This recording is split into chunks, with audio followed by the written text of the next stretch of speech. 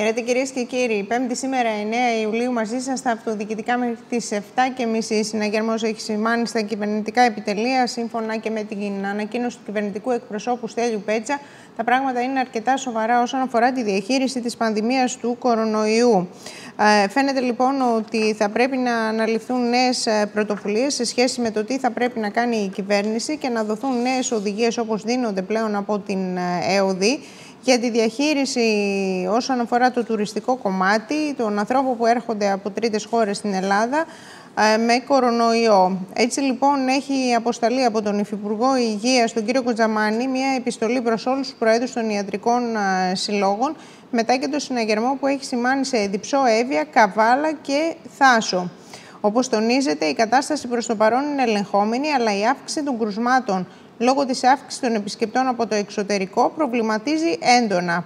Οι υγειονομικές υπηρεσίες και λοιμοξιολόγοι εκφράζουν φόβους για διασπορά του ιού σε πολλές περιοχές παρά το γεγονός ότι κινούμαστε σε ανοιχτούς χώρους και αυτό βοηθά στον περιορισμό της πανδημίας. Η διατήρηση ωστόσο του κορονοϊού σε υψηλά επίπεδα όλο το καλοκαίρι, οι κακέ ειδήσεις που έρχονται από τις χώρες του εξωτερικού για χιλιάδες κρούσματα και οι προειδοποιήσεις για ένα δεύτερο κύμα πανδημίας το φθινόπωρο θέτουν και την Ελλάδα σε διαρκή συναγερμό.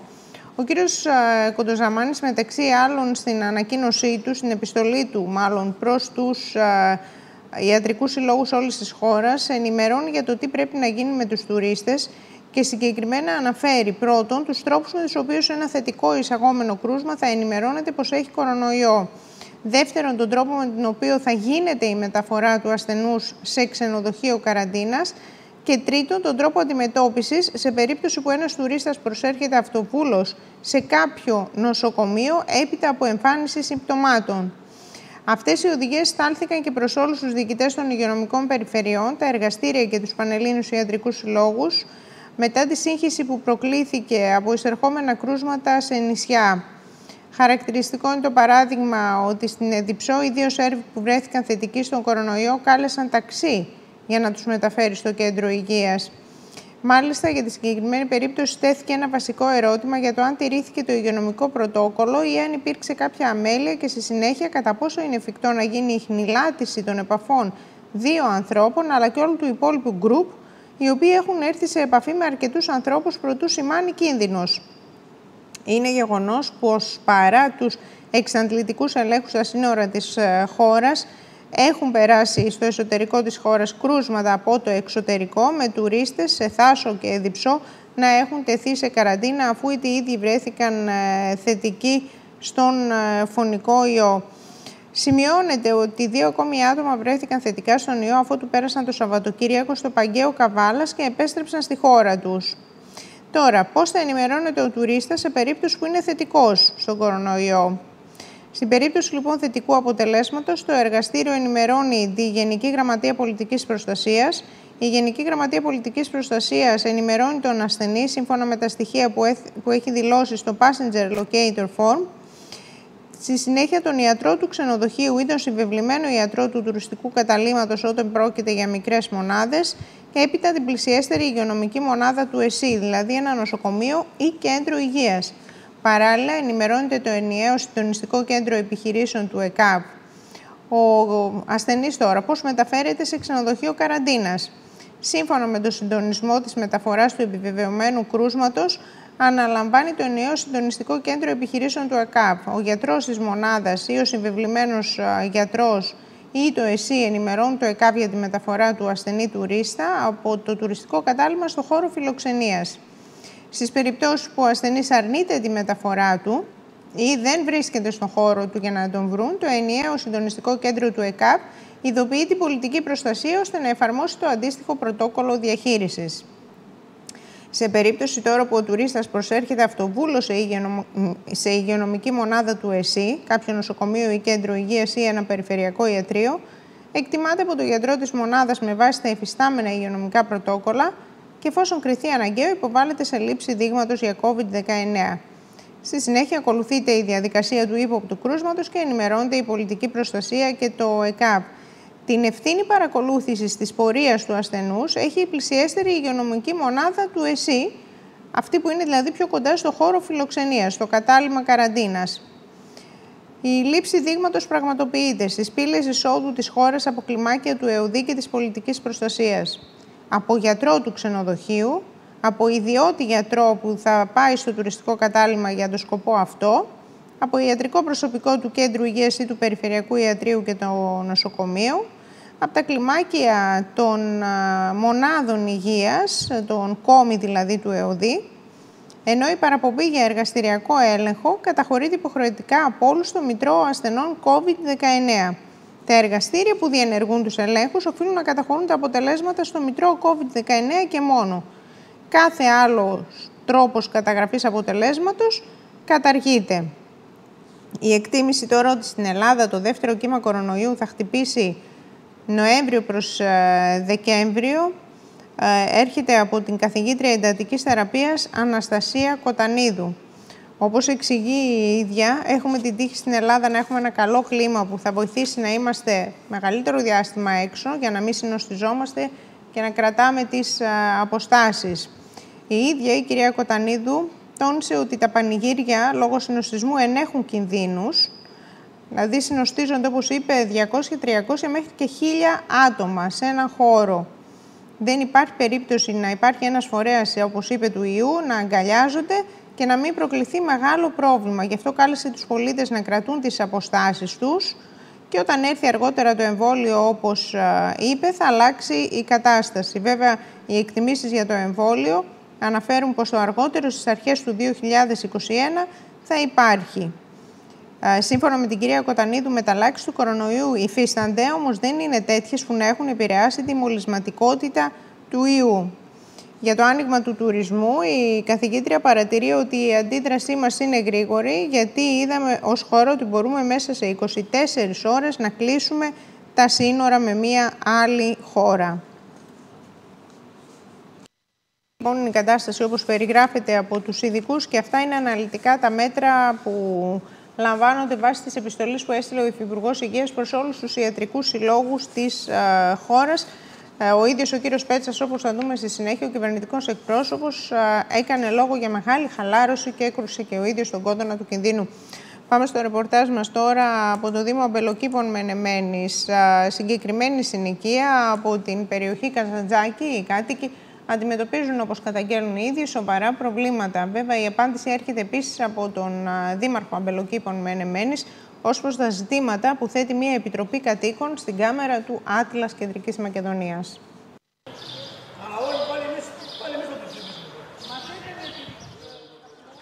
Φανερά αναστατωμένοι οι κάτοικοι της συνοικίας Καζατζάκης στην περιοχή της Μενεμένη συγκεντρώθηκαν στην πλατεία για να διαμαρτυρηθούν για τις βασικές ελλείψεις που εδώ και χρόνια αντιμετωπίζει η περιοχή τους. Ελλείψεις σε καθαριότητα, υποδομές και φωτισμό. Οι κάτοικοι της περιοχής Καζατζάκη είναι αγανακτισμένοι, καθώς εδώ και χρόνια, όπως ισχυρίζονται, η περιοχή τους έχει εγκαταληφθεί στο έλεος της αδιαφορίας. Ξεχασμένη πολιτεία είμαστε.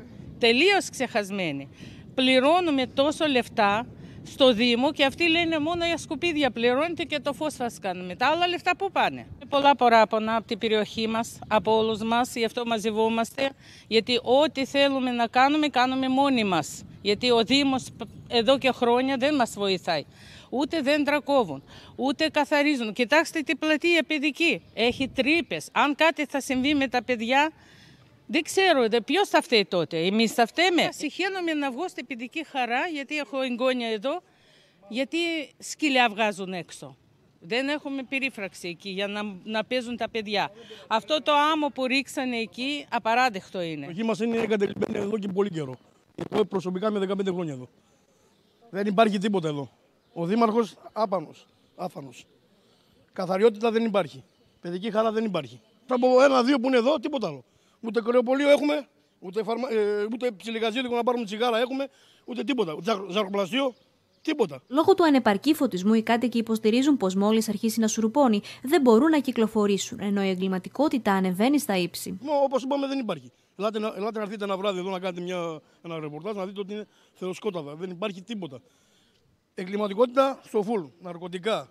Ό,τι θέλετε. Η γέφυρα είναι άνδρο κακοποιών στοιχείων. Αστυνομία πουθενά. Νοείται φοβόμαστε. Εδώ μεγαλώνουμε κορίτσια που έχουμε 14-15 χρόνια κορίτσια και να μαζεύουμε από τις 8 ώρα στα σπίτια. Που μπορούμε να, μπορούμε να μαγκάσουμε και κάτω. Θα υπάρχει κάτι, ένα μπαγκάκι, να, να καθούμε. Ένα μπαγκάκι με αυτό με το ζόρι. να γίνει μια, να πούνε 5-10 παγκάκια εδώ να μπορούμε να κάτσουμε να πιούμε ένα καφέ. Και πάλι είναι σκοτάτι. Προηγουμένω που ήρθε, ζητήσαμε να βάλει ώστο και λίγο φωτισμό για να μην κινδυνεύουν τα παιδιά να κυκλοφορούν. Όχι έξω για να παίζουν, τουλάχιστον να πηγαίνουν στις υποχρεώσεις τους, στα φροντιστήρια και ό,τι δραστηριότητες έχουν. Και αυτά δεν έχουμε. Όπως υποστηρίζουν, υπάρχει σοβαρό πρόβλημα και με τη γέφυρα που υπάρχει στην περιοχή, η οποία συνδέει το συνοικισμό με την υπόλοιπη Μενεμένη. Το Ανσασέρ είναι χαλασμένο και έτσι ηλικιωμένοι δυσκολεύονται να μετακινηθούν. Το βασικό που θέλει η περιοχή μας για να μην πηγαίνουν από τη γέφυρα οι γυναίκες στη λαϊκή πίσω από το σιδηρόδρομο, να μας κάνουν τουλάχιστον μια φορά την εβδομάδα λαϊκή κάπου εδώ. Δεν θέλουμε πολλά, είναι και μικρό μικρή αγορά, αλλά τουλάχιστον να μπορούμε, να μπορούμε με καροτσάκια να μην κουβαλάμε τόσα χιλιόμετρα. Σύμφωνα μάλιστα με τους κατοίκους, ο Δήμος, αν και έχει προχωρήσει σε ενέργειες περιμετρικά του οικισμού, μπορεί να παρέμβει περιορισμένα εντός της, καθώς μέρος της συνοικίας είναι αγορασμένο από εργολάβο. Εδώ με τη βροχάρα που είχαμε προχτές την Κυριακή, έπεσε το δέντρο, καλά που δεν πέρασε κανένας. Είναι, δεν ξέρω τι, ο Θεός μας πόνισε που δεν σκότωσε κανένας γιατί τρύπησε και τη τέντα να φαίνεται. Ε, κάποια Μιχαηλίδου μας λέει δεν ανήκετε. Είστε η διοκτησία σας, είναι δικό σας, μόνοι σας να μαζέψετε τα λεφτά από τον κόσμο και να βγάλετε. Όπως μας είπαν ότι είναι η διοκτησία δικά μας, οπότε αναλαμβάνουμε εμείς και καθαρίζουμε πού και πού όποιος μπορεί. Γιατί σας είπαν ότι είναι δική σας ιδιοκτησία, ποιο πράγμα; Γιατί το οικόπεδο είναι αγορασμένο από εργολάβο που έκτισε αυτό το συνοικισμό. Όποτε ανήκει μόνο σε εμάς. Επειδή αγόρασαμε σπίτι εδώ και τα υπόλοιπα όλο το τετράγωνο είναι δικό μας. Περισσότερα πληρώνουμε για τον Δήμο παρά τα υπόλοιπα έξοδα που έχουμε στους λογαριασμούς. Γι' αυτό το λόγο, όταν είπαμε για ποιο λόγο πληρώνουμε, λέει μόνο τα σκουπίδια. Και τα σκουπίδια όταν πετάμε, μερικές φορές είναι τόσο βρώμα εκεί μαζεύεται και βρωμάει τόσο πολύ. Προηγούμενος η κυρία έβγαλε λάστιχο και έπλυνε γύρω-γύρω γιατί δεν μπορούσες να πλησιάζεις για να πετάξεις τα σκουπίδια σου. Αντικρούοντας τα όσα υποστηρίζουν οι κάτοικοι, ο Δήμαρχος Αμπελοκήπων Μενεμένης Λάζαρος Κυρίζογλου τονίζει ότι στην περιοχή έχουν κατασκευαστεί τρεις σχολικές μονάδες, παιδικό σταθμό, νηπιαγωγείο και δημοτικό, ενώ αναφερόμενο στο δίκτυο του φωτισμού τόνισε πως αυτός έχει επεκταθεί περιμετρικά, ενώ στη συνοικία έχει δημιουργηθεί και παιδική χαρά. Σχετικά με τη μετακίνηση των κατοίκων από τη γέφυρα, ο Δήμαρχος τόνισε πως υπάρχει εναλλακτικό τρόπος μετακίνησης και δεν είναι άλλος από την κατασκευασμένη υπόγεια διάβαση πεζών που υπάρχει δίπλα στον συνοικισμό.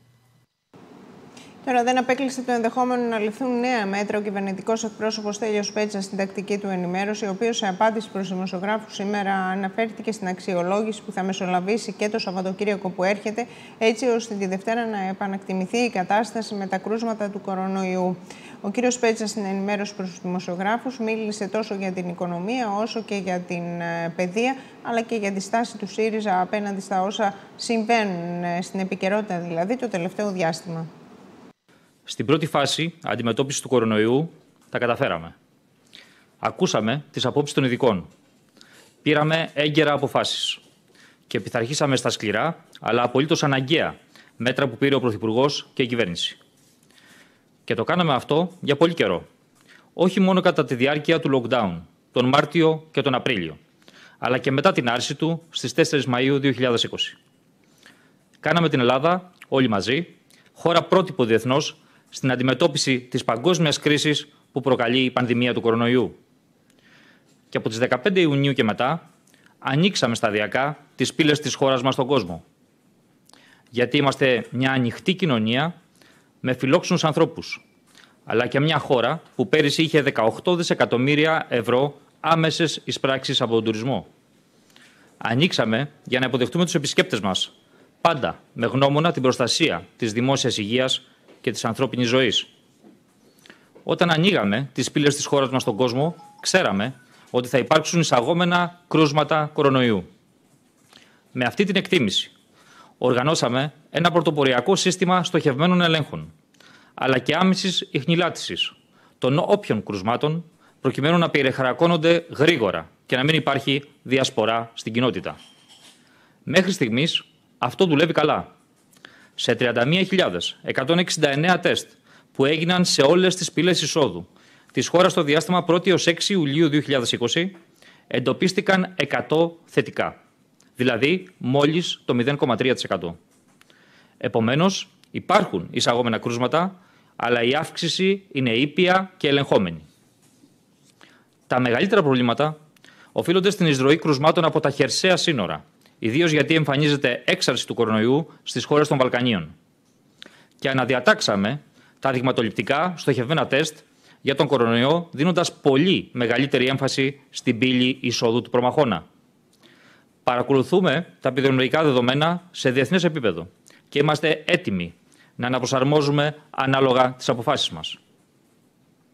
Είτε αποκλείοντας, ελπίζουμε προσωρινά, επισκέπτες από βεβαρημένες περιοχές, όπως δυστυχώς έγινε με τη Σερβία, είτε επιτρέποντας πιο γρήγορα πτήσεις από άλλες χώρες, όπως θα γίνει με το Ηνωμένο Βασίλειο από τις 15 Ιουλίου. Παρακολουθούμε, αναλύουμε, αναπροσαρμόζουμε τη στρατηγική μας. Όμως, ο μεγαλύτερος κίνδυνος αυτή τη στιγμή δεν είναι από το εξωτερικό. Είναι στο εσωτερικό. Είναι τα παράδεκτα φαινόμενα χαλάρωσης. Διότι ο κορονοϊός δεν έφυγε. Είναι εδώ και τρέφεται από τη χαλάρωσή μας. Α μην του κάνουμε τη χάρη. Είναι απολύτως απαραίτητο. Ιδίως τώρα, που έχει σε μεγάλο βαθμό αποκατασταθεί η κοινωνική και επαγγελματική ζωή. Τώρα, που λόγω καλοκαιριού έχουν αυξηθεί οι μετακινήσεις μας σε διάφορες περιοχές της χώρας. Τώρα που έχουν ξεκινήσει διάφορες εκδηλώσεις στις πόλεις και στα χωριά μας. Επαναλαμβάνω, είναι απολύτως απαραίτητο να είμαστε διπλά προσεκτικοί. Τηρούμε τις συστάσεις των ειδικών. Τηρούμε τους κανόνες ατομικής υγιεινής και προστασίας. Φοράμε μάσκα όπου χρειάζεται ή συστήνεται. Τηρούμε τις αποστάσεις. Αυτά αν τα κάνουμε θα πάψουμε να τρέφουμε τον κορονοϊό. Ο καθένας και κάθε μια ατομικά έχουμε ευθύνη απέναντι στον εαυτό μας, απέναντι στους ανθρώπους που αγαπάμε και έναντι της κοινωνίας. Ιδίως όμως έχουν ευθύνη οι επαγγελματίες και οι εργαζόμενοι, από τα εμπορικά καταστήματα μέχρι τα καταστήματα υγειονομικού ενδιαφέροντος και από τα ξενοδοχεία μέχρι τις μεταφορές. Επαγγελματίες και εργαζόμενοι που είναι όλοι πολύτιμοι σύμμαχοι σε αυτόν τον αγώνα. Η κυβέρνηση τους καλεί να συνεχίσουν να είναι σύμμαχοι και πρεσβευτές σε αυτόν τον αγώνα. Πιστεύουμε ότι η συντριπτική πλειοψηφία θα συνεχίσει, όπως το έκανε και μέχρι σήμερα, να ανταποκρίνεται με υψηλό αίσθημα ευθύνης σε αυτό το πρόσθετο καθήκον που επιβάλλει η αντιμετώπιση της πανδημίας. Διαβεβαιώνουμε ότι η κυβέρνηση θα ενεργοποιήσει όλους τους μηχανισμούς ελέγχου που έχει στη διάθεσή της για να προστατεύσει τους πολλούς υπεύθυνους από τους λίγους επιπόλαιους. Από σήμερα μπαίνει σε εφαρμογή ένα σχέδιο εκτεταμένων ελέγχων από όλες τις κρατικές και περιφερειακές υπηρεσίες υπό το συντονισμό της ενιαίας αρχής διαφάνειας. Τα πρόστιμα για παραβάσεις είναι αυστηρά. Σε μια περίοδο δυσπραγίας, μάλιστα γίνονται πιο αυστηρά. Είναι όμως το χέρι όλων των επαγγελματιών και των εργαζομένων να τα αποφύγουν, τηρώντας τους κανόνες που είναι κοινοί για όλους. Βαριά είναι τα πρόστιμα, για παράδειγμα, και για τους επιβάτες στα μέσα μεταφοράς, όχι μόνο στις αστικές συγκοινωνίες, αλλά και στις λοιπές χερσαίες, ακτοπλοϊκές και αεροπορικές μεταφορές. Θα είναι όμως πολλαπλάσιο το οικονομικό κόστος αν επιτρέψουμε να αυξηθούν τα κρούσματα του κορονοϊού, να γεμίσουν τα νοσοκομεία μας και να κινδυνεύσουμε να χάσουμε τον Αύγουστο και τον Σεπτέμβριο, δύο μήνες που αναμένεται να δώσουν ανάσα στις τουριστικές περιοχές. Και θα είναι εγκληματικό αν από επιπολαιότητα αφαιθούμε να χαλαρώσουμε, θέτοντας σε κίνδυνο την υγεία αγαπημένων μας προσώπων. Αν χαλαρώσουμε, θα το πληρώσουμε. Σε ό,τι αφορά την οικονομία, η κυβέρνηση αποκαθιστά μια αδικία σε βάρος 235.233 συνταξιούχων που ταλαιπωρήθηκαν με τον αντισταματικό νόμο Κατρούγκαλου ΣΥΡΙΖΑ. Από χθες το βράδυ πιστώνονται τα ποσά των αναδρομικών των επικουρικών συντάξεων στους λογαριασμούς των δικαιούχων με το συνολικό καταβαλλόμενο ποσό προφόρων να φτάνει τα 142,7 εκατομμύρια ευρώ σημειώνεται ότι από τις 2 Ιουνίου αυξήθηκαν οι επικουρικές συντάξεις που είχαν περικοπεί με τον νόμο Κατρούγκαλου επειδή το άθροισμα κύριας και επικουρικής υπερεύαινε τα 1.300 ευρώ. Σε σχέση με τη φορολογία, μπήκε σε διαβούλευση το νέο φορολογικό νομοσχέδιο που περιλαμβάνει ρυθμίσεις για την προσέλκυση επενδύσεων, τον εξορθολογισμό της φορολογίας των οχημάτων, την εξώδικη επίλυση διαφορών που εκκρεμούν στα δικαστήρια φορολογικών διαφορών. Ανάμεσα στα άλλα προβλέπονται θέσπιση αυτοτελούς φορολόγησης με συντελεστή 7% για το παγκόσμιο εισόδημα των συνταξιούχων αλλοδαπής που μεταφέρουν τη φορολογική τους κατοικία στην Ελλάδα. Νέο πλαίσιο για τη δωρεάν παροχή μετρητών από τις επιχειρήσεις του εργαζόμενους Απαλλαγή από το τέλος επιτιδεύματο για τους αγρότες και μετά την παρέλευση πενταετίας από την ημερομηνία ένταξης στο κανονικό καθεστώς ΦΠΑ. Αλλαγή του τρόπου υπολογισμού των τελών ταξινόμησης με μείωση τελών για τα νέα καινούρια ΙΟΤΑΧΗ και αύξηση για όσα ΙΟΤΑΧΗ φέρουν πρώτη ημερομηνία ταξινόμησης έως τις 31 Αυγούστου 2018, έτσι ώστε να μειωθεί το περιβαλλοντικό αποτύπωμα που προκαλεί η εισαγωγή παλαιών και πιο ρηπογόνων μεταχειρισμένων ΙΟΤΑΧΗ από το εξωτερικό. Σύσταση Επιτροπής Εξώδικης Επίλυσης Φορολογικών Διαφορών που εκκρεμούν ενώπιον του Συμβουλίου της Επικρατείας και των τακτικών διοικητικών δικαστηρίων φορολογικών διαφορών. Κάτι που αποσυμφορίζει τα δικαστήρια. Σταματά να κρατά σε ομοιρία πολλούς φορολογουμένους που είχαν εκκρεμίσει φορολογικές υποθέσεις και φέρνει έσοδα ταχύτερα στο Δημόσιο Ταμείο. Σημειώνεται ακόμη ότι ενεργοποιείται για πρώτη φορά η διαδικασία υποβολής αιτήσεων για τη χορήγηση ενισχύσεων ίσονος σημασίας, de minimis, στον τομέα της παράκτειας αλληλείας. Το συνολικό ύψος της αποζημίωσης των πληγέντων αλλιέων από την υγειονομική κρίση ανέρχεται στα 15,2 εκατομμύρια ευρώ. Δικαιούχοι είναι οι ιδιοκτήτες επαγγελματικών αλλιευτικών σκαφών, εφόσον τα σκάφη τους διαθέτουν αλλιευτική άδεια σε ισχύ και δραστηριοποιούνται στην παράκτια αλληλεία. Η ψηφιακή πλατφόρμα είναι ανοιχτή για την υποδοχή των ετοιμάτων από χθες, Τετάρτη 8 Ιουλίου, μέχρι και την Παρασκευή 28 Αυγούστου 2020. Όσον αφορά την παιδεία, νωρίτερα σήμερα η Υπουργός Παιδείας και Δεσκευμάτων Νίκη Γεραμέο παρουσίασε το νομοσχέδιο που στοχεύει στον εξυγχρονισμό του ιδιωτικού σχολείου. Οι προτινόμενες ρυθμίσεις κινούνται σε τρεις βασικούς άξονες. Πρώτον, απλοποίηση πλαισίου λειτουργίας, περισσότερη αυτονομία και ευελιξία στην οργάνωση και λειτουργία των ιδιωτικών σχολείων. Δεύτερον, αποτελεσματικότερη αξιοποίηση του ανθρώπινου δυναμικού και στήριξη των εκπαιδευτικών. Και τρίτον, αξιοποίηση κτηριακών εγκαταστάσεων. Το προτινόμενο νομοσχέδιο εξυγχρονίζει τη λειτουργία των ιδιωτικών σχολείων και χτίζει μια νέα σχέση εμπιστοσύνης. Από το συγκεντρωτισμό, τον κρατικό παρεμβατισμό, την ακαμψία και τον περιορισμό πρωτοβουλειών, περνάμε στην αποκέντρωση, την αυτονομία, την ευελιξία, την ενίσχυση καινοτομιών και τη συνεργασία.